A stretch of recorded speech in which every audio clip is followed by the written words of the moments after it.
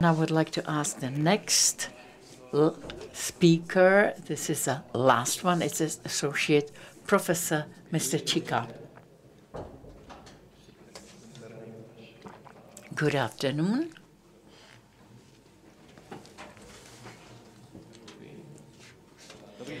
So I would like to introduce to you our research mechanisms as for 5G technologies and cybersecurity. In 15 minutes, I'll be talking about three things. First of all, I would like to say where I come from, then I'll be talking about 5G, and then I will would like to introduce to our unique laboratory in Brno used for this. So I'm coming from the Technical University of Brno, Department of Telecommunications. We are one of the largest uh, institutes there. We have uh, uh, the staff of 60. You can see 10 study programs, 61 PhD students, and so on. Last year and this year, it's very similar. We participated in 64 R&D projects Uh, with signal processing and ID, and the volume in euros was depicted here. These are our main activities. So we are focusing on high-speed data networks, uh, Industry 4.0, energy, smart grids, cybersecurity, and different uh, processing of different signals. Significant partners of ours are energy companies, technological companies, telecommunications operators. We have roughly 50 industrial partners and 40 partner universities worldwide. The main topic is mobile connectivity. I'll start with the history. Maybe you'll be surprised that even in 1910, the first mobile phone was used in a car uh, when Lars Magnus Ericsson and his wife used the first car phone. And uh, I just jump over to the times we remember: 1991, 2G technologies. People wanted to telephone, uh, sending MMS, SMS. And then 3G technology, it switched off in the Czech Republic currently. Then we had a new iPhone, which changed the market completely. Then we have YouTube streaming and so on, and there were some requirements on data transfer. 4G uh, responded to the internet and cell phones. So we have uh, data uh, data transfer 500 times faster than in 3G. And then we have 5G and NR, new radio. And uh, also the Internet of Things is important. Uh, interesting is why this 5G is coming up. It's because uh, people require something, especially something which they couldn't have, and they can imagine what it could be like. The first requirement is increase of the speed. People are uh, using most data for videos. They are downloading, but now we see that the people are communicating more. So they it's not downloading, but also uploading. They require to have an uplink. So uh, we need high transfer speeds uh, also from the user to the network. In 2024, we expect the increase in uh, mobile data transfer or traffic 60 times. And of course, uh, uh, uplink and downlink speeds will accelerate. Another thing are uh, various types of tracking.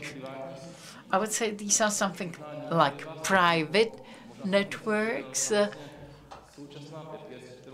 5G network now is something like public network. We are used to it. We are used to using cells for uh, transferring data for phoning. And now it comes into the industry, and we can also have uh, private networks uh, for some warehouse or in some factories you would like to have autonomous robots and these are uh, using uh, they are being used in Skoda in the factory in the production. And this is another part of the 5G and the last thing is massive IoT Internet of Things and this can be used for various measurement of physical uh, magnitudes, for temperature measuring and uh, different other applications. Example from the last week. So this is from the warehouse. You can see an autonomous car. The, it is there instead of the warehouse worker. So it's coming uh, to the to and picking up the equipment.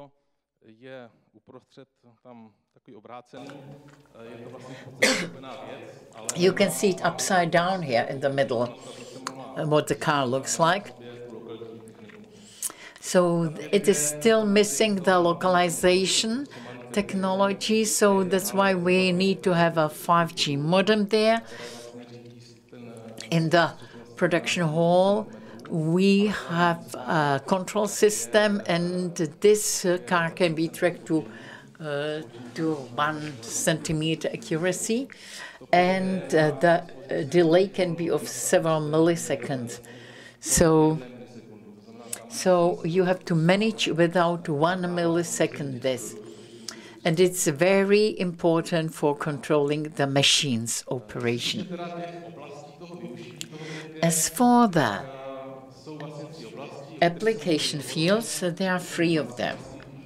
Massive Internet of Things.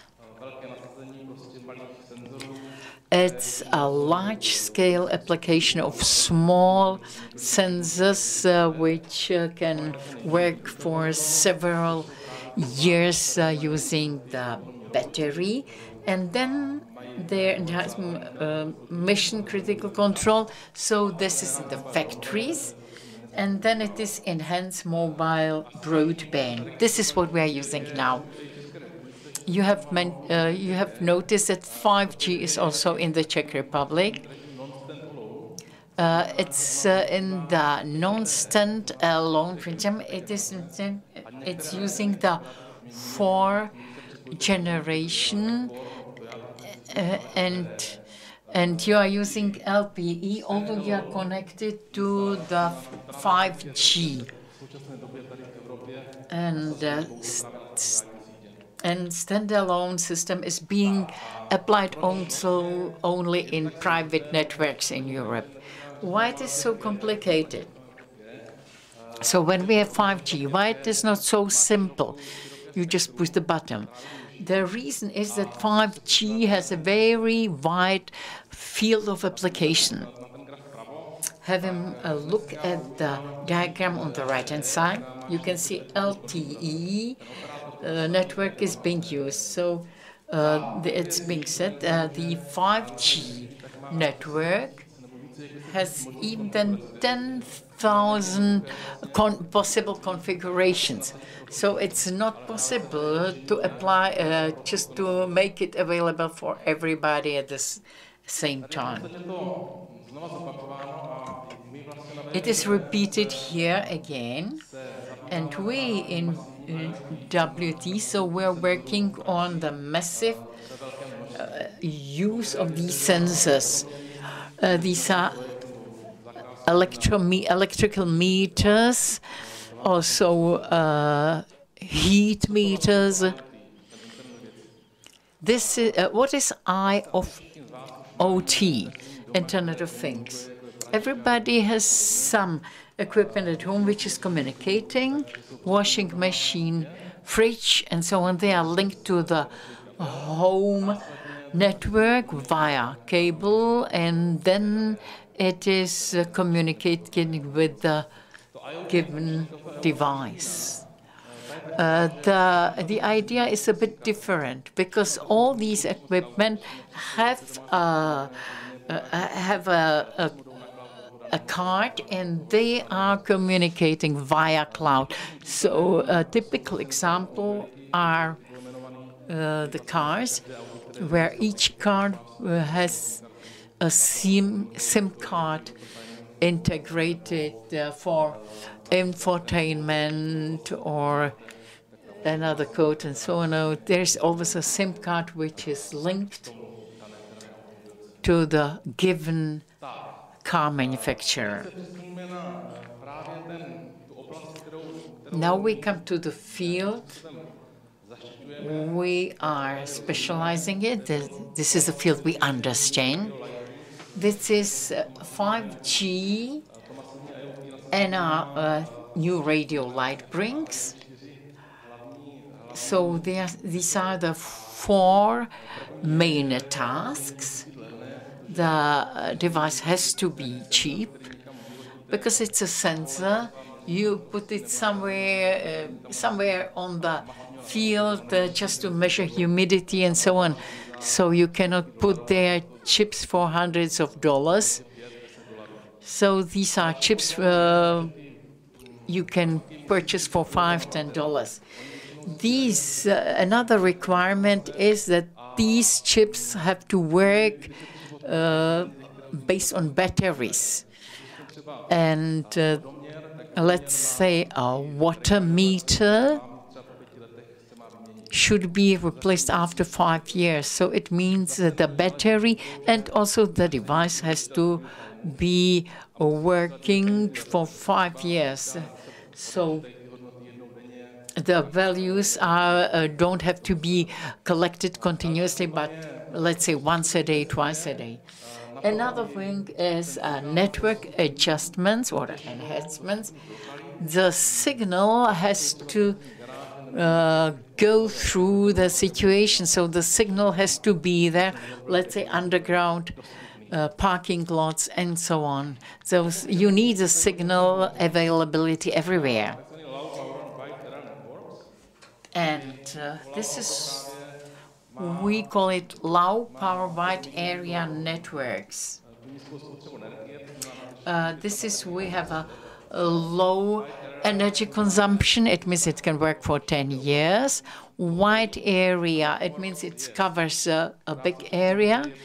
And networks, but it, it, it is either in the licensed uh, band or outside. The technologies, there are four technologies nowadays.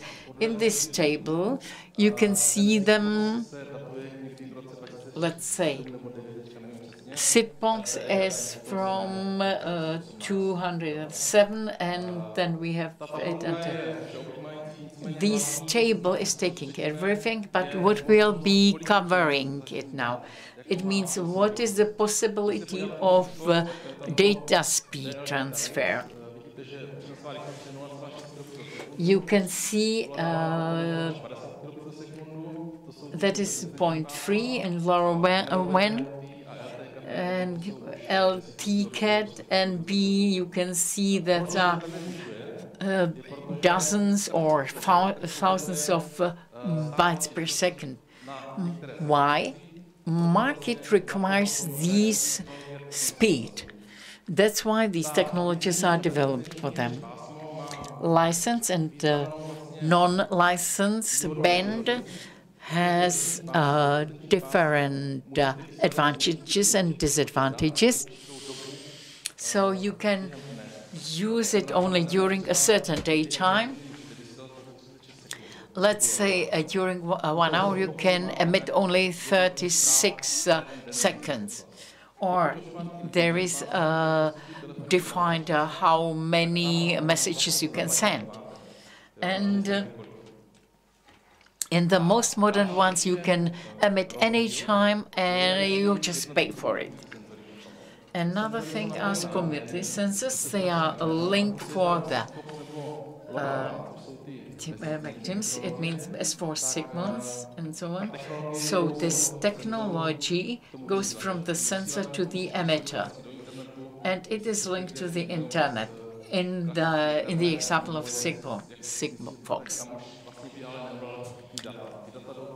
And the data go via uh, internet into the cloud, and you are paying for the cloud to use the data. As for the license one, these are the red ones. The data are owned by the operator, and all the communication uh, goes via the communicator. As for the coverage, we are cooperating Vodafone, and both technologies are active with Vodafone because they are using LTE aerials with a certain frequency scope which could be used. That it means that coverage of the Czech Republic using both technologies is 100%, the whole territory. What can we offer? Last year we opened a so-called uh, Vodafone Unilab in on our premises, which is used uh, for the students to learn about the modern technologies. And it also makes a space for the companies. We would like to develop or test some equipment working on 5G networks. In the lab, we have installation for uh, demo. We have also some box there where we can simulate various uh, solutions. It's on the right-hand side.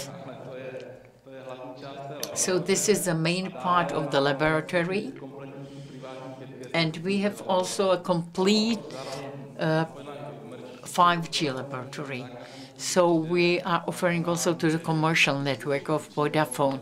So if somebody is coming to us, so uh, he can test how it would work in reality. What are we doing more? We are doing 5G new radio, smart networks. We can also design hardware. It means a complete communicator. We can also measure it as for the signals. We can analyze what uh, will, will be the service life of the device. This is an example of a tester. This is the orange box.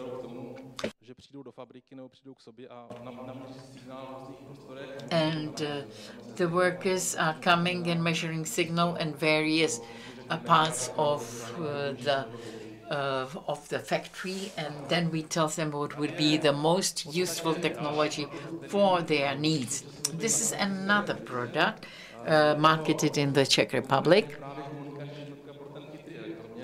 This is a communication unit for a smart electrical meter, electricity meter. So the distributor uh, needs to measure different localities, what chip or which technology should be used there. It can be underground or some, in some free space. So we have developed this communication unit which is then linked to the electricity meter, and it is simulating the smart electrical meter. The unit is sending data to the server, and and why is this happening? There is a decree that uh, that until 2027, all the uh, distribution points uh, have to have a smart electrical meter. So it means the distributors will have to install the smart uh, electrical meters there. And one of these things is communication um, module, and, and another thing is cyber security. A part of our institute was uh, cooperating. I don't know how to say it. Uh, was working on a committee uh, investigating how these uh, cybersecurity should be provided. And uh, then should agree on uh, measurement methods uh, and make the draft for this decree. Uh, this is already prepared, and distributors uh, require from the manufacturers these uh, security with certificates. So nowadays, certification laboratories are being set up to uh, give the certificate of cybersecurity. Yesterday, I was sending a certification scheme for these electrical devices and afterwards, yes, this certification body can approve uh, an electrical meter for use in the Czech Republic. So these are the modules. They were tested in different parts in the Czech Republic, and the signal is being tested, the availability of the signal is being tested. This is what it looks like. So this will be roughly all. I hope I manage in the 15 minutes. So thank you very much uh, for your attention. And if you have questions, you may ask me now or after the, this session.